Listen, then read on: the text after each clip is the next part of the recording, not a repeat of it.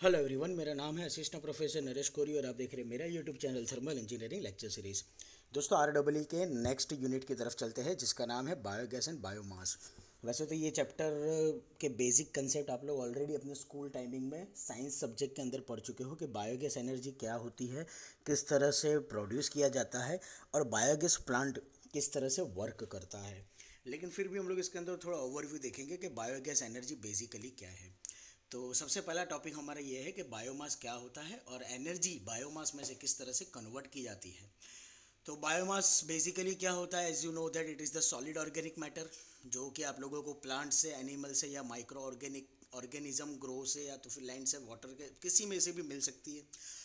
दूसरा बायोमास आप लोगों को मिल सकता है तो वो होगा आप लोगों का वेजिटेबल्स या तो फिर रिन्यूएबल नेचुरल एनर्जी सोर्सेज मतलब जो हम लोग वेस्ट निकालते हैं, हमारा जो सॉलिड वेस्ट होता है, जो हमारा लिक्विड वेस्ट होता है, ठीक है, उसके थ्रू भी हम लोग बायोगैस एनर्जी प्रोड्यूस कर सकते हैं। हम लोग जानते हैं काउडंग का यूज़ करके भी हम लोग बायोगैस एनर्जी का यूज़ कर सकते हैं। तो ये अलग अलग सोर्सेज हैं कि जिसके थ्रू कुछ समय तक जब हम लोग हमारे इस वेस्टेज को बंद बॉडी के अंदर रखेंगे, जहाँ पर एयर का कोई सर्कुलेशन ना हो तो आप लोग इजीली बायो एनर्जी को या बायोगैस एनर्जी प्रोड्यूस कर सकते हो। ये बेसिक फंड है जो कि आप लोगों ने पढ़ा हुआ है।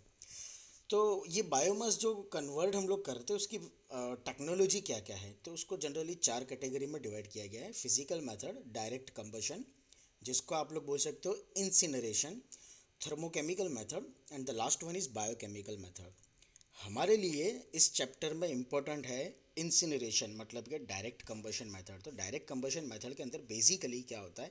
देखो, वैसे तो देखा जाए डायरेक्ट कंबशन का मतलब क्या होता है? मतलब कि इंसिनरेशन का मतलब क्या होता है? इंसिनरेशन और कंबशन वैसे तो एक दूसरे के साइनोनाइमस है। मतलब कि सेम वर्ड है। लेकिन दोनों के बीच का फ़र्क ये है कि इंसिनरेशन के अंदर हम लोग ऐश का भी कंप्लीट कंबशन कंसिडर करके चलते हैं। इंसिनरेशन प्रोसेस मतलब ऐसी प्रोसेस कि जिसमें ऐश को भी आप लोगों को कंप्लीट कम्बस्ट करना है। जनरली कम्बशन प्रोसेस में ऐसा होता है कि अगर आप लोगों की जो ऐश जनरेट हो रही है, उस ऐश को आप लोगों को ऐसे ही रहने देना है। ऐश अगर आप लोगों की बर्न नहीं हो रही है तो उसको एज इट इज़ रहने दो इट डजेंट मैटर लेकिन इंसिनरेशन के अंदर ऐसा नहीं होता है। फिर दूसरी चीज़, कि हम लोग यहाँ पर करते क्या है तो सॉलिड बा बायोमास जो होगा, उसकी जो एस जनरेट होगी, उसको हाई टेम्परेचर पर हम लोग ऑक्सीडेशन प्रोसेस करेंगे। और ऑक्सीडेशन करने के बाद हम लोग हीट प्रोड्यूस करेंगे। ये जो हीट प्रोड्यूस हुई, या तो फिर मान लो कि वाटर आप लोगों ने रखा है वाटर आप लोगों वाटर का आप लोग स्टीम में कन्वर्जन करोगे, ये हीट प्रोड्यूस होने के बाद में उसकी हेल्प से। ये जो हीट जनरेट हुई, या तो जो हम लोगों ने स्टीम प्रोड्यूस की है, उसका हम लोग यूज़ करेंगे, या तो इलेक्ट्रिसिटी प्रोड्यूस करने में, या तो फिर इंडस्ट्रियल पर्पज़ में। या तो फिर स्पेस हीटिंग में, या तो फिर कुकिंग के लिए। ठीक है? ये इसके यूज़ थे। Next waste sorry waste incineration plants are install in large cities to dispose of urban refuse and generate energy general city बड़े बड़े सिटीज़ के अंदर जो भी आप लोगों को वेस्टेज मिलता है प्लांट्स का है ट्रीज़ का है या किसी और चीज़ का है, उसको हम लोगों का, हम लोग अर्बन एरिया के अंदर डिस्पोज करते हैं और वहाँ पर फिर उसको इलेक्ट्रिसिटी या तो फिर एनर्जी प्रोड्यूस करने के लिए यूज़ किया जाता है। It constitutes a furnace with adequate supply of air to ensure complete combustion up to a capacity of thousand tons per day एक दिन के अंदर थाउज़ेंड टन के जितनी वेस्टेज की आप लोगों को यूज़ करना है एनर्जी प्रोड्यूस करने के लिए। लेकिन एक चीज़ यहाँ पर ध्यान में रखनी कि हम लोग जो फर्नेस का यूज़ कर रहे हैं, उसके अंदर एडिक्वेट अमाउंट की ही एयर जानी चाहिए। मतलब ज़्यादा एयर नहीं, बहुत कम अमाउंट की एयर आप लोगों को सप्लाई करनी है। बेसिक कंसेप्ट था। नाउ द मोस्ट टाइम पे थियर इस चैप्टर में से एटलीस्ट चार या सात मार्क्स का कंटेंट आप लोगों को पूछा जा सकता है, जिसमें से पहला टॉपिक जो कि काफ़ी इंपॉर्टेंट है, वो है explain with neat sketch floating drum जिसको आप लोग बोल सकते हो constant pressure type biogas plant वैसे तो ये आप लोग अपने स्कूल टाइमिंग में पढ़ चुके हो दिस वन ठीक है, ये है फ्लोटिंग ड्रम बायोगैस प्लांट ये आप लोग ऑलरेडी अपने स्कूल में पढ़ चुके हैं, लेकिन फिर भी मैं आपको इसका फास्ट ओवरव्यू दे दूँगा, क्योंकि टॉपिक काफ़ी छोटा है और चैप्टर भी काफ़ी छोटा है और ईजी आप लोगों ने पढ़ा हुआ है. वैसे तो डिफरेंट मॉडल मॉडल अवेलेबल है आज के ज़माने में बायोगैस प्लांट के लिए. ठीक है जो पॉपुलर मॉडल इंडिया के अंदर है, वो है खादी विलेज इंडस्ट्रीज़ कमीशन का। मतलब कि ये हमारा फ्लोटिंग ड्रम टाइप ये खादी विलेज का बनाया हुआ आप लोगों का एक मॉडल है, जिसको आप लोग बोलते हो floating drum type biogas plant एक मार्क्स में आप लोगों को एमसीक्यू में पूछा जा सकता है कि भाई floating floating drum type biogas plant जो है, वो किस कमीशन से बना हुआ है? मतलब खादी विलेज इंडस्ट्रीज़ कमीशन का बना हुआ है, ये आप लोगों को याद रखना है एमसीक्यू के लिए। करना क्या होता है, या तो उसके पहले हम लोग इसका कंस्ट्रक्शन देख लेते हैं। It comprise a masonry digester with an inlet on one side for feeding slurry and an outlet on the other side for removing digested slurry as you can see आप लोगों को दो टैंक दिख रहे हैं। एक इनलेट टैंक है, एक आउटलेट टैंक है। यहाँ से आप लोगों को डाइजेस्टेड स्लरी को बाहर निकालना है।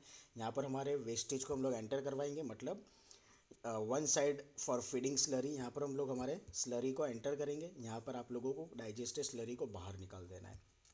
डाइजेस्टेड मतलब जो कि कम्प्लीटली वेस्टेज उसका यूज़ हो चुका है। अब उसका कुछ नहीं हो सकता है, ठीक है? उसको डाइजेस्टेड स्लरी बोलते हैं। डाइजेस्टेड मतलब पच जाना, जैसे हम खाना खाते हैं, हमारा खाना पच जाता है।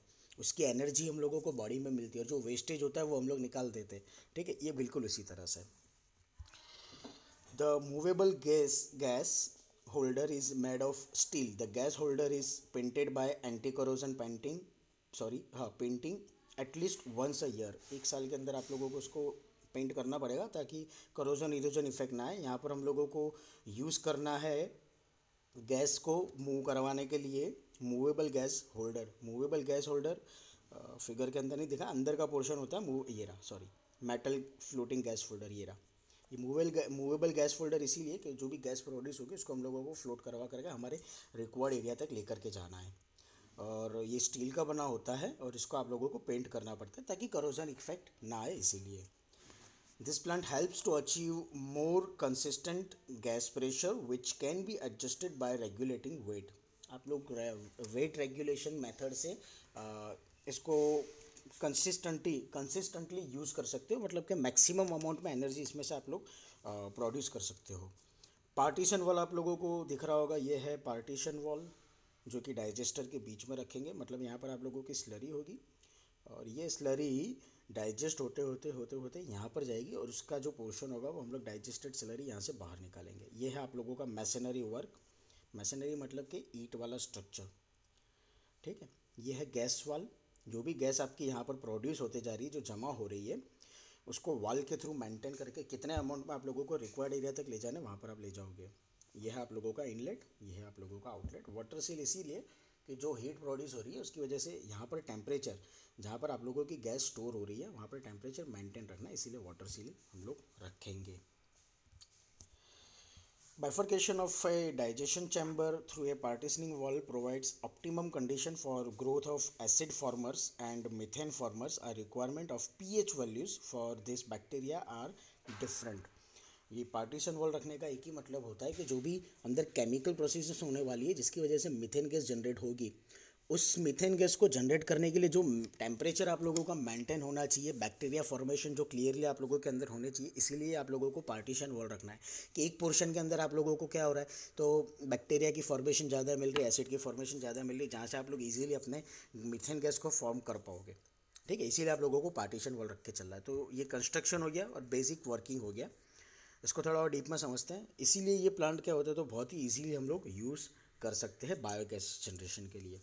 Floating gas holder builds gas pressure of about 10 centimeter of water column sufficient to supply gas up to 100 metre जो फ्लोटिंग गैस आप लोगों ने देखा, ये होल्डर यहाँ पर 10 सेंटीमीटर ऑफ़ वाटर जितना प्रेशर जनरेट होगा, इसकी वजह से क्या होगा तो आप लोग गैस को सप्लाई कर सकते हो अप टू 100 मीटर लेंथ ठीक है? 100 मीटर तक की लेंथ तक आप लोग इसको इजीली फ्लोट करा पाओगे, क्योंकि इतना प्रेशर यहाँ पर इस गैस होल्डर इस गैस होल्डर के अंदर जनरेट होगा that's why Diameter of the digester of a gas plant range from 1.2 to 6 meter and its height varies from 3 meter to 6 meter general value याद रखना है gas pressure also forces out the spent slurry through a sludge pipe ये जो आपकी sludge pipe है यहाँ से slurry को बाहर निकालने के लिए जो प्रेशर जनरेट हो रहा है वो हेल्प करेगा The mild steel gas holders are prone to corrosion, thus needs painting at regular intervals. जो कि मैंने पहले बोला माइल्ड माइल्ड स्टील मतलब स्टील का यूज़ कर रहे हो आप लोग गैस जनरेट हो रही है तो सीधी सी बात है करोजन इफ़ेक्ट आने के चांसेस होते हैं तो हम लोगों को इसीलिए क्या करना है तो पेंटिंग करते रहना है हमारे पाइप्स को ताकि करोजन इफ़ेक्ट ना आए problem overcame sorry this problem can be overcame और overcome by using fibre glass reinforced plastic F R P fibre glass reinforce plastic का अगर आप लोग यूज़ करोगे as a pipe sorry instead of steel as a pipe तो फिर आप corrosion effect से बच सकते हो। एडवांटेजेस क्या क्या होंगे it gives higher gas production it works under constant pressure naturally higher gas production आप लोगों को मैक्सिमम अमाउंट में गैस का प्रोडक्शन मिलेगा। It works under constant pressure naturally constant pressure पर भी ये काम करेगा। There is no problem of gas leakage gas leakage की कोई प्रॉब्लम नहीं है and there is no problem of mixing of biogas with external air external air के साथ में आपके बायोगैस का कोई मिक्सचर ही नहीं होगा, क्योंकि आप लोगों की एक्सटर्नल एयर जो है वो अंदर बॉडी में आने ही नहीं वाली है। तो उसकी वजह से क्या होगा there is no damage of explosion और डेंजरस ऑफ़ एक्सप्लोजन तो एक्सप्लोड होने के कोई चांसेस ही नहीं है। डिसएडवांटेजेस क्या होंगे तो इस इनिशियल कॉस्ट इज़ मतलब आपको इसको बिल्टअप करना है तो काफ़ी ज़्यादा अमाउंट लगानी पड़ेगी। There is loss of heat through metal gas holder heat के लॉस होने के चांसेस ज़्यादा है क्योंकि मेटल गैस होल्डर का आप लोगों ने यूज़ किया तो मेटल हीट पकड़ेगा और उसकी वजह से हीट लॉस होगी। The outlet pipe is flexible it requires regular attention जो आउटलेट की पाइप होगी वो फ्लेक्सीबल होगी। तो उसको क्या है, ध्यान देना पड़ेगा कि पाइप आप लोगों की ज़्यादा मुड़ तो नहीं रही स्टडी है कि नहीं।